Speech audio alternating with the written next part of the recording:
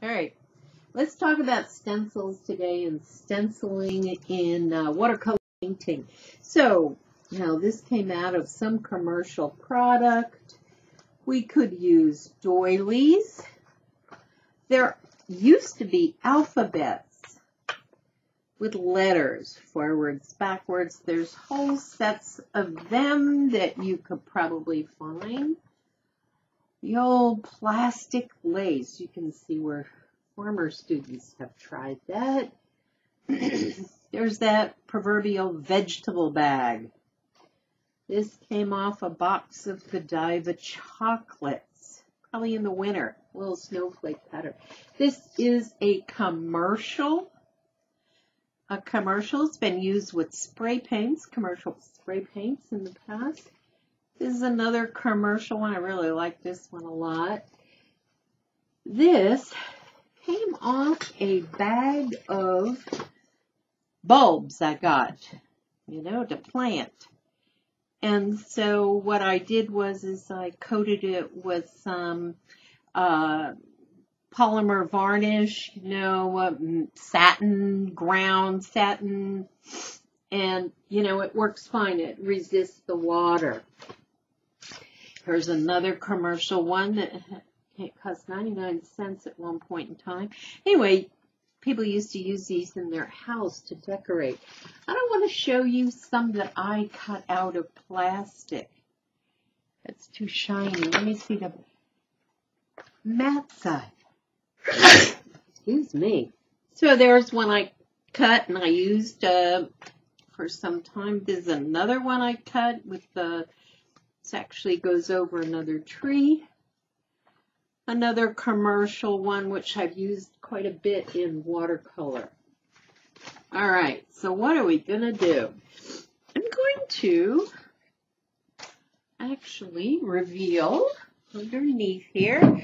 I have some projects ready to go. I have prepped and then I flattened some paper because I always like a reveal. Now, how are you going to get the paint on there? One way is to use a bottle. You can buy these on the internet and then comes with the bottles or not. You know, once you have a lot of bottles, you can just buy the sprayer component. And you fill it with thinned ink. Here's another sprayer that, you know, it's a hand pump Here's another sprayer. Y'all might have something like this at home. I filled it with a nice pink. All right, so what are we going to do? I am going to choose this stencil. So you don't want to get it too wet. With watercolor, you get it too wet. It goes, un, it seeps underneath. Well, maybe then I could put a little of this purple on.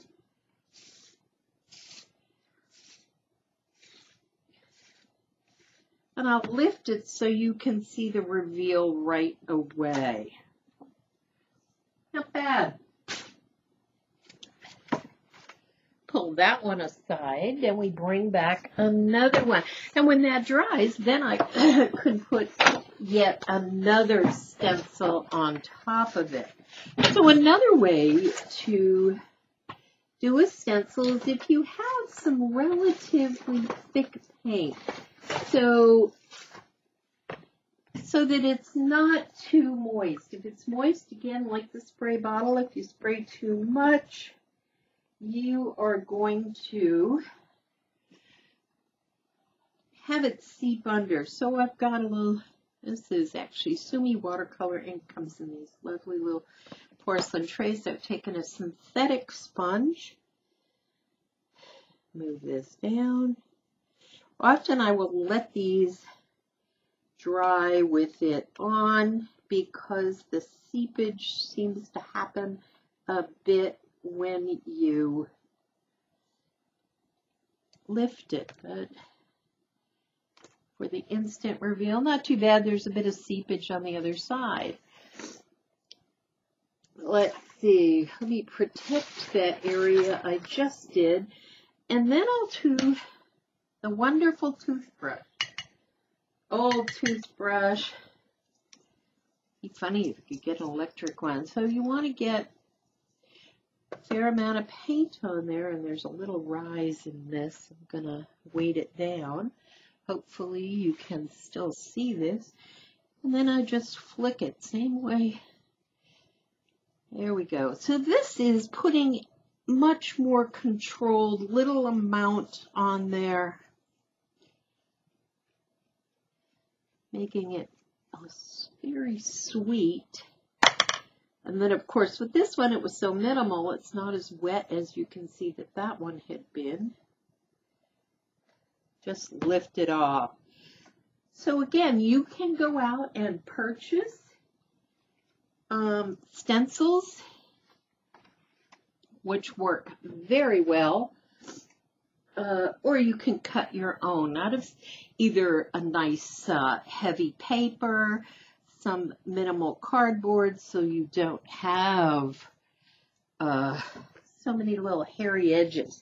Now this is another stencil sort of project. This is, this is, what is this? This is gauze, four ply gauze. I've laid it out on top of something I already painted yesterday.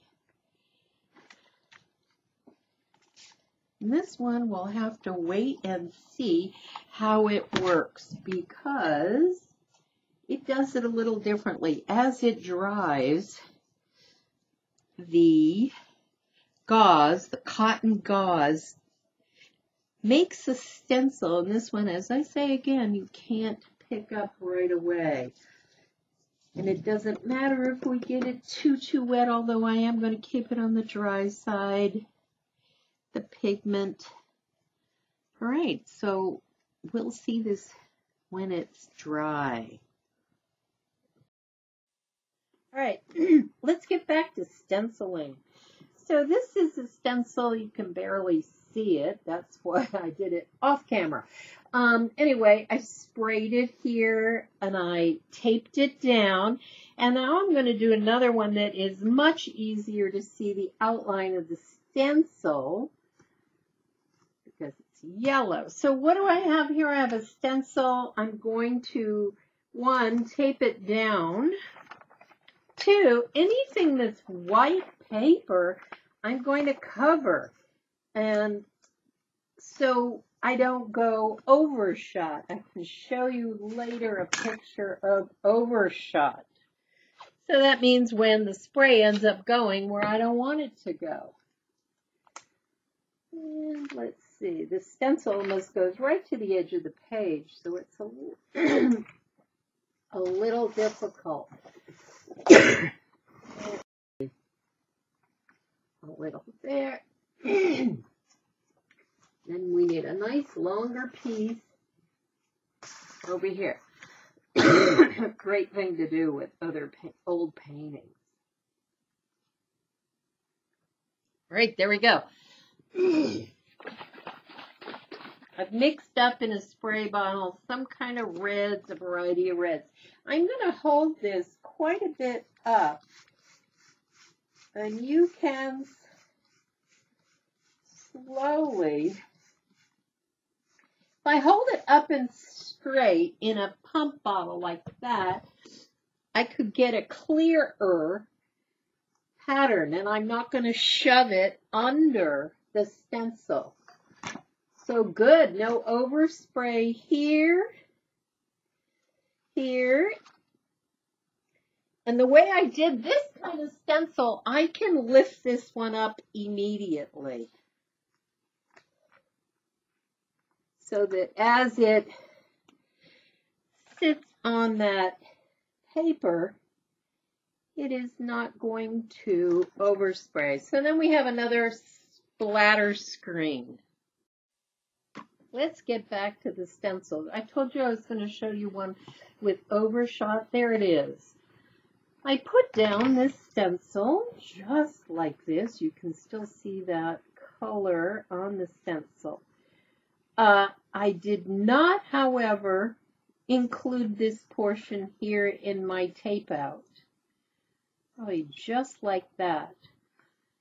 I covered these covered the bottom, but did not get that. So there's a thing of when you're using a stencil, remember, and you're spraying, cover the excess area so that uh, you don't have that possibly ruin a painting at the end. I mean, or at the beginning, we can still make many changes and I could probably stencil this over it and it might hide it very well.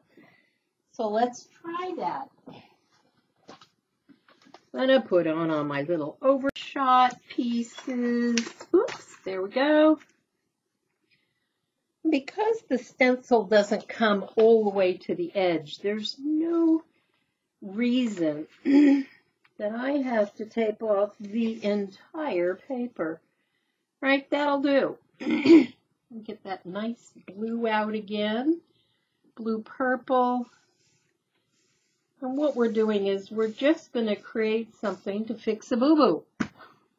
Fix something that we didn't plan on happening, but it happened anyway. How can you fix it? So we're trying to fix it by a distraction. There you go. Now, do you necessarily see that overspray as much anymore? Not really. You're right. I also wanted to go back to the piece that I did. so I wanted to show you the results of uh, using the gauze with watercolor. You can see that I've taken off the gauze here and that there is a slight pattern in the gauze. So remember there was an undercoat of a color, lighter color, and variegated color.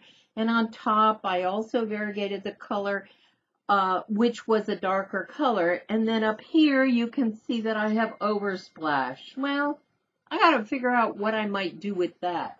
So to avoid the oversplash, here's another one. And I just protected it with a piece of paper. So there's no oversplash to this one. This is a much better uh, result using the gauze. Beautiful obscure patterns and even lighter ones here. Not sure if you can see it or if my camera is in focus, but I just love this ambient pattern. I'll do another video on the gauze pieces. Uh, to help show you what else might be done. All right.